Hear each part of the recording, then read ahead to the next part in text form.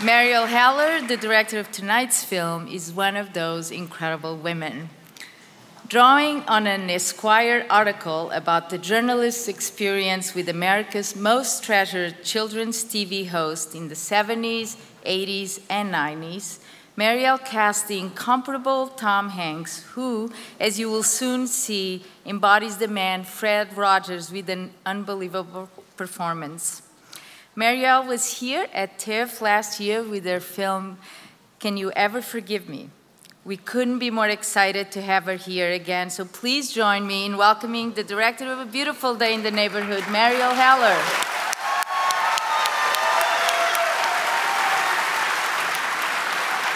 Hi.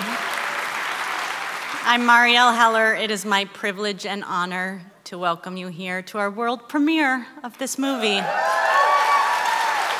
That was such a labor of love.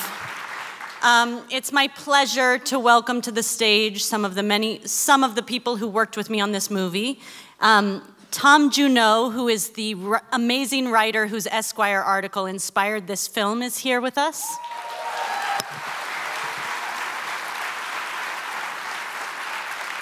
And our cast, the incredible Chris Cooper,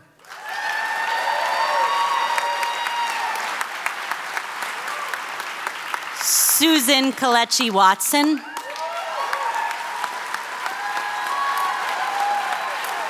Our very own Matthew Rhys. And someone named Tom Hanks.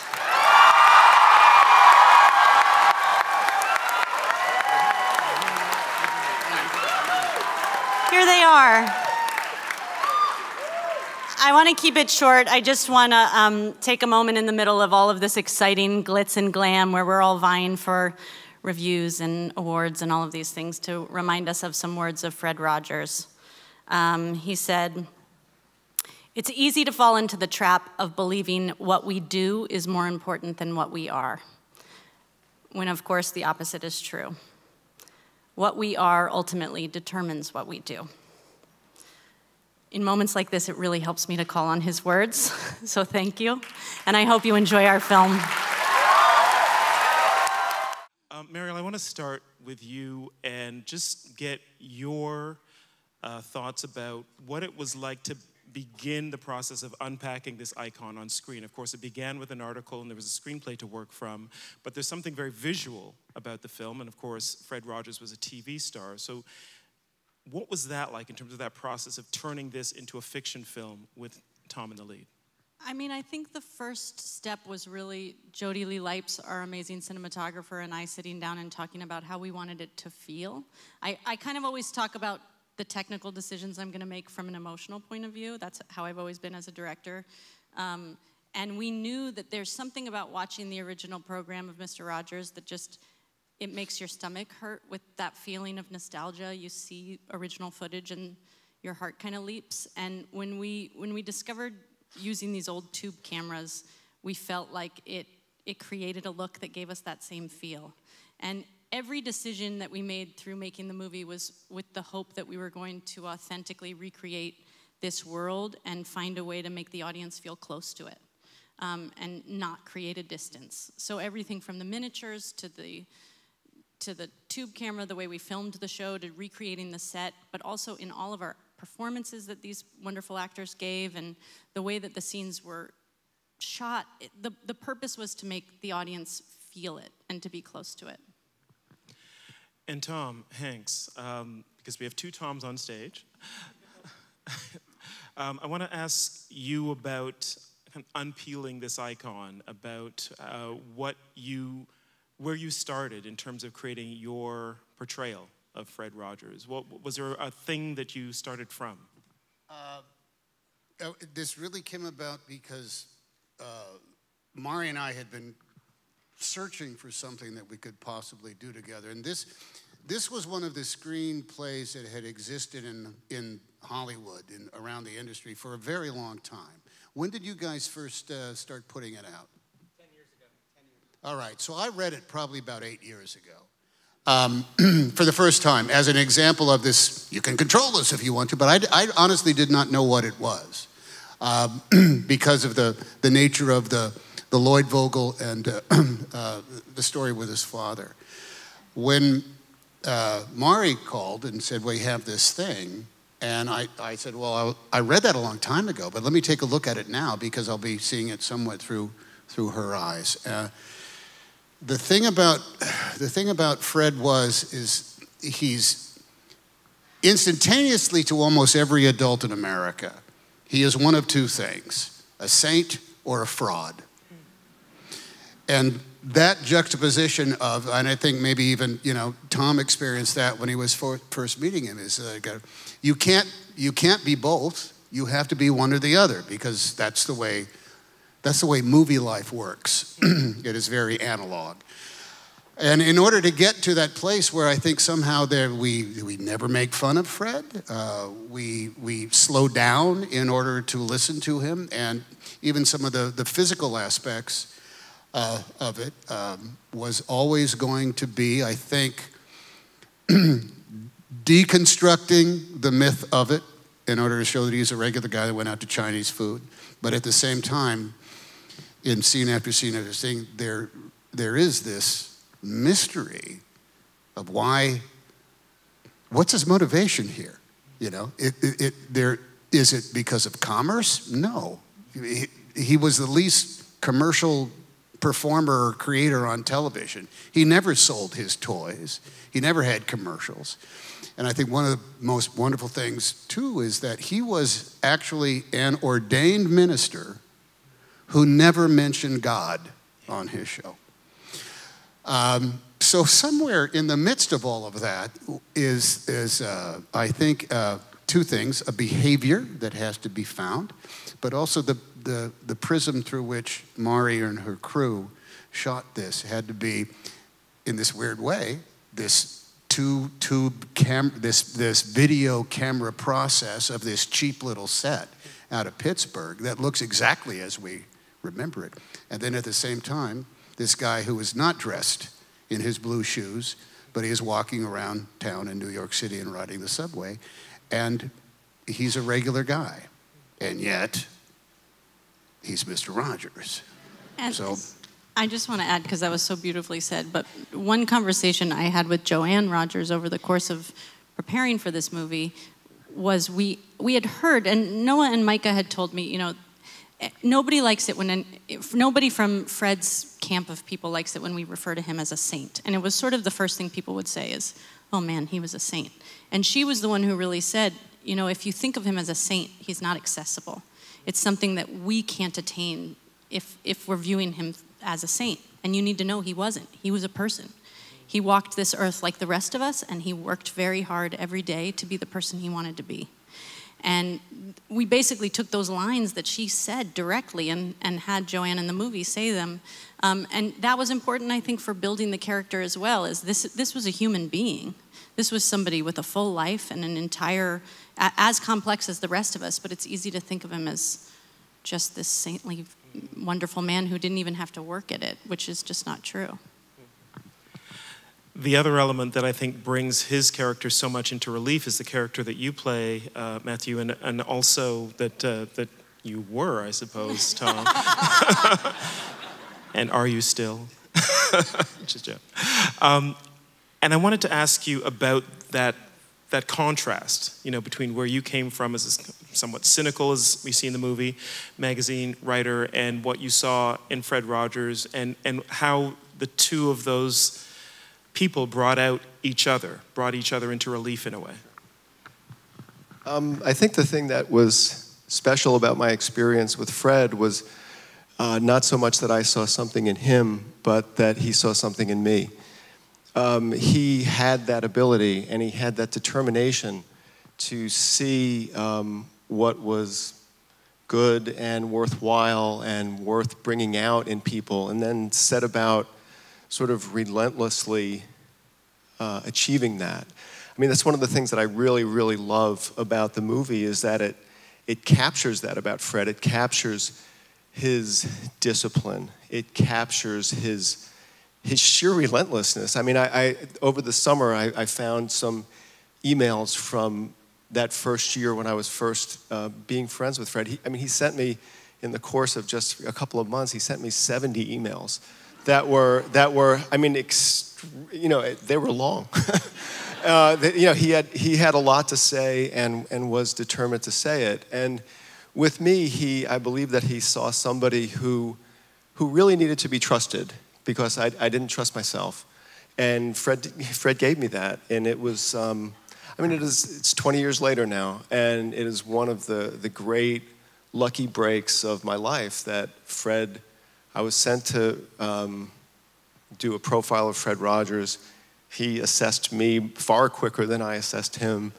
And, uh, you know, 20 years later, we're, we're, we're talking about him. It's, um, you never know how life works, but it really works well sometimes.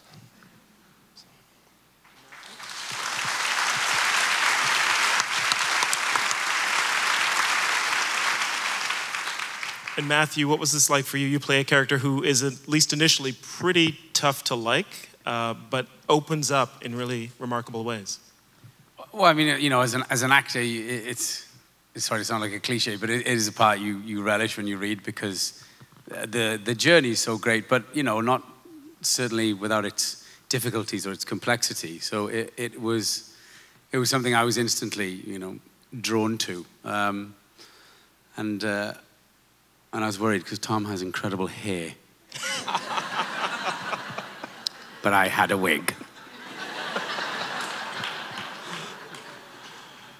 Um, I want to ask the, the other actors up here, uh, Susan and, and Chris. Uh, Chris, maybe we'll, we'll, start with you in terms of playing the father character. And so many uh, characters in movies have dads who they struggle against, and you just kind of put it all out there. You are that dad that you know, is very hard for a son to live with. And I just wonder if you could talk a little bit about portraying the father in this film.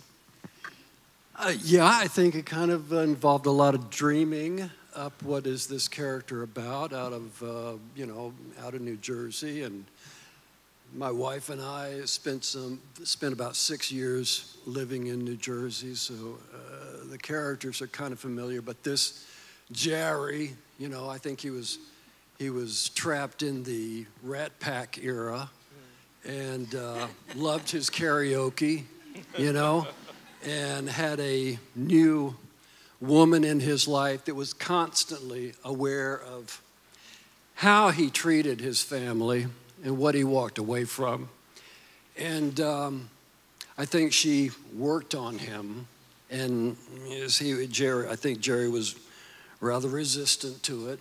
But um, um, just having talked to Tom, you know, I, I realized there were there were this was there were some parallels in in the relationship to the father that that I didn't realize. I thought this was I thought this this part of the story was totally fictitious, you know, but um, apparently not so. Mm-hmm. You know. All right, and Susan. Mm-hmm you are also part of this ensemble, which is really about everyone kind of growing together. And you, your character is maybe a little bit more evolved than some of the others, perhaps.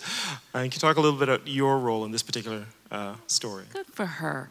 Um, uh, you know, it's it's interesting, right? These new phases of life. You you get comfortable in a certain phase of life. You think you have it kind of managed you know, you know your career, you know your husband's career, you know your roles, and then, you know, you take the next step and a baby enters, you know, your family, and and then things kind of get tossed around, and you try to figure out, well, what are the new roles, and how much am I still my old self, and all these things, and and and a lot of times I find, you know, we all know when it rains, it pours, right? So this happens, and then all of a sudden the father comes back into the light, you know, and and there's all these things that are are like. Um, stirring up something that's that's riling up what was peaceful, you know what I mean, what was sort of comfortable.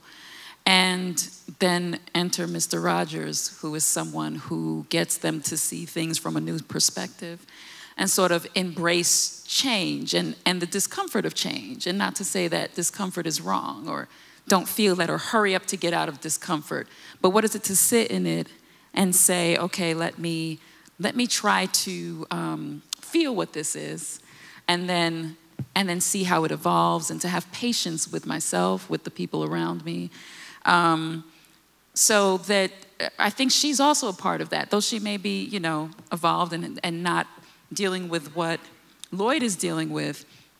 There's still this idea of what it is to be patient with yourself and to allow things to evolve and to allow discomfort and to know that that's all part of it. Um, so um, I love that, you know, she like me loves Mr. Rogers. you know what I'm saying? Like backstage, I was singing along with the song Mm-hmm. and everything. I remember all of this, and I want to ask a little bit about loving Mr. Rogers because I remember when the first image from this film was put online and everybody kind of just breathed a sigh of relief that you were going to be playing Mr. Rogers. You had managed to cast Tom Hanks as Mr. Rogers. Somehow, it's like our collective shoulders went down and we felt like we are in safe hands now. And I want to ask the two of you, Mariella and Tom, about what that was. What, what is the thing that Tom Hanks has that made him perfect for this role? Can I, can I uh, interject for one second? As, All as- right. as, someone Please. who's neither from the United States or Canada, when you tell people, they go, oh, what's the film about? You go, I, you know, in a very broad stroke, although it's not, if you just want to get out of the room, I go, oh, it's about Mr. Rogers. And they go, oh. And they go, who plays Mr. Rogers? You go, Tom Hanks. And they go, oh. yes, right? It elicits the same sound. Rogers and Hanks elicit the same sound.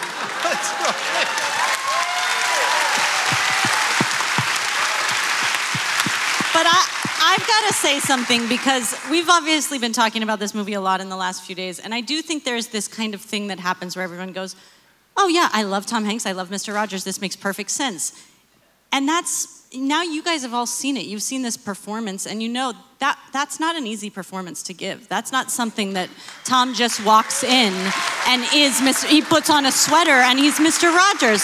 That is an incredibly raw, vulnerable performance to give, and um, that is there is effort behind, in the same way that Mr. Rogers gave effort to be Mr. Rogers and to live his life the way he wanted to live his life. There is effort that went into this performance, and there was an incredible amount of trust and it cannot it has to feel naked to to give that type of performance where you are so raw and you're being asked to be so vulnerable and what mr rogers was was present and open in every moment i mean that's a hard thing to do for anybody and so I, I worry because we have this way we talk about this like oh yeah tom hanks mr rogers makes sense and i'm like no that, that's actually not giving credit to the transformative performance that you all have seen now sorry it's true Let me, can I just tell a quick, quick show business story? That one of the reasons I guess I'm here. It was, uh, it was a night shoot.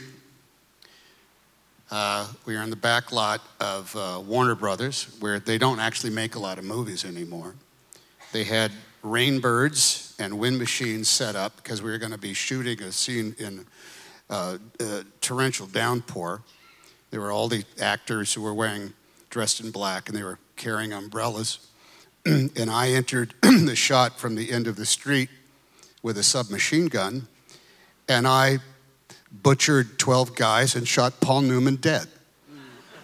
And I thought, God, I hope I get to play Mr. Rogers someday. so, so I'd like to think that between the executioner and the Green Mile and the Nazi killer and Saving Private Ryan, it was all leading it here was all leading up to playing the man who created the neighborhood of make believe.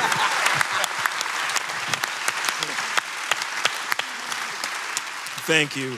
Um, I've been told that we are just about out of time, but I do want to open it up just for a couple of questions from you. So we're going to uh, maybe uh, raise the lights a little bit. Thank you. And uh, if you've got a question, and please bring your best questions. And not this is more of a, you know what I'm talking about. Uh, so, okay. We're- where, where? Who, who are we talking about? Who are we talking about? Okay, uh, no, one second, please. Right here? Okay, yes, on the aisle. Go ahead. Is that the one you mean? Okay. Tom Junod's chose this question. Go ahead. Yes.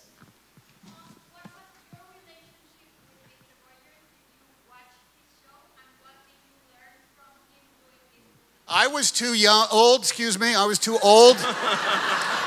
Um, I remember Mr. Rogers as being this odd black and white show on the TV channel we never tuned in uh, uh, when I was growing up, and the puppets, their mouths didn't move, so I didn't know who was talking necessarily.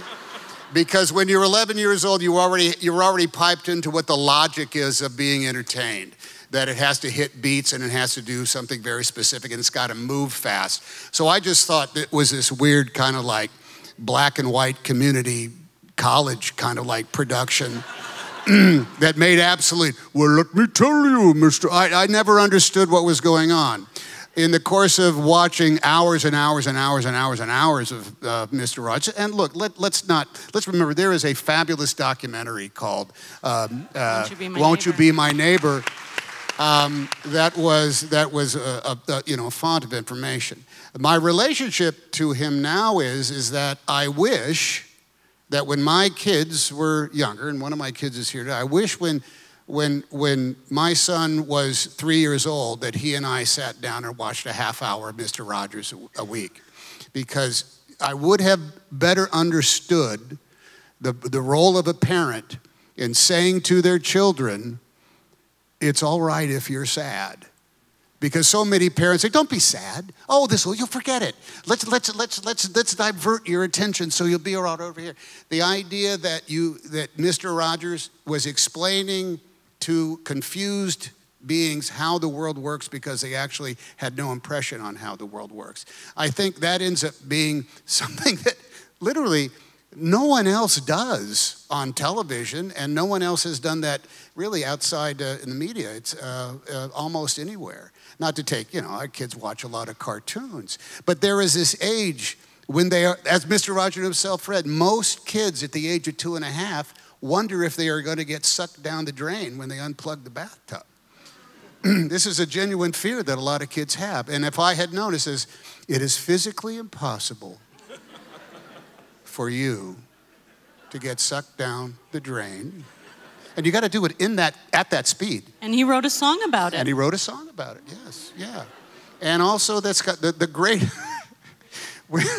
Should I tell this? When my wife and I get into it, when we're done with whatever subject matter that got us all heated up, oh. I'm now driving her insane because I sing.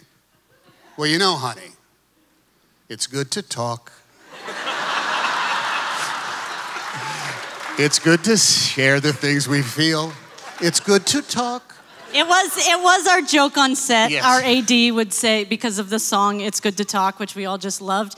It would always be, "It's good to shoot. It's good to shoot another scene. It's good to." Everything was that was all the you, whole. You shoot. can you can turn just if you were ever confused, just take a reading from the book of Fred Rogers, yes. and all will be well, or you'll so get true. to the next place you need to.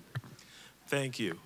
Um, balcony, give me a question. One question from up in the balcony, please. Who's got one?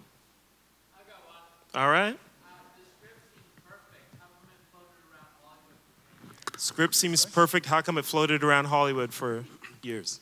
Um, yeah, I mean, I, it wasn't so much that it floated around Hollywood for 10 years, but it took a long time to get made because we were working with the estate, um, who are very, very protective of Fred Rogers and you know his likeness. Like like Tom said, he never he never sold any toy. He never did any sort of endorsements. And um, we had sort of written a script and gotten it to them, and they were like, well, "We love you guys. Uh, script needs some work." and so they opened up the archives to us, and we got to read all the letters that that you know the ones that Fred wrote Tom like I mean that's a little invasive but we read them all you know before, before, he did. Uh, and it was like oh this is this is amazing. This guy is actively participating in not only this journalist's life but in hundreds of other people's lives uh, on a daily basis. And so we we had to be very careful. And I think we we were also um, you know growing in our own lives and writing about our own kids and our own insecurities about being parents. And it, it took a long time. And it took us a long time to find Mari. and when we found Mari, it happened. You know, it happened.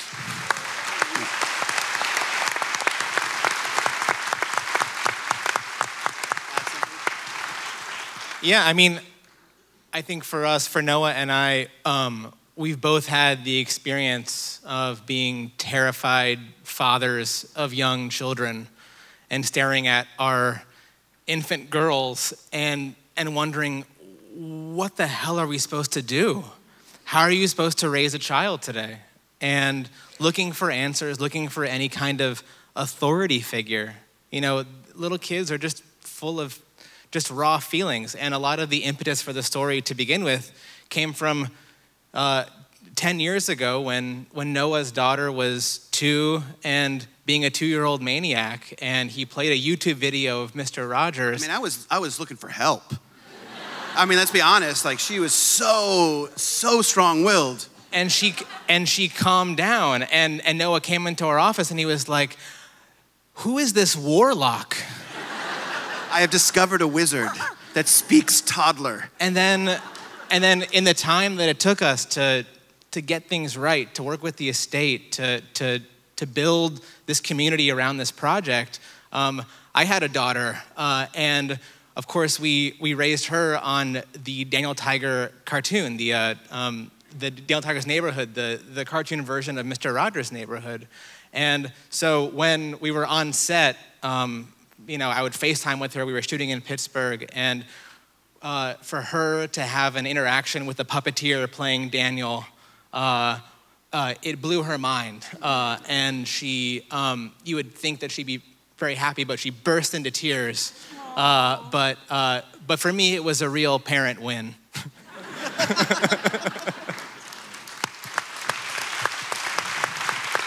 Thank you so much. Thanks for your questions. We're going to have to leave it there, so I'll just ask you to please join me in thanking the incredible team from A Beautiful Day in the Neighborhood Tom Junod, Micah Fitzerman Blue, Noah Harpster, Susan Kelechi Watson, Chris Cooper, Matthew Rhys, Mr. Tom Hanks, and director Marielle Heller. Thank you, Thank Cameron. You.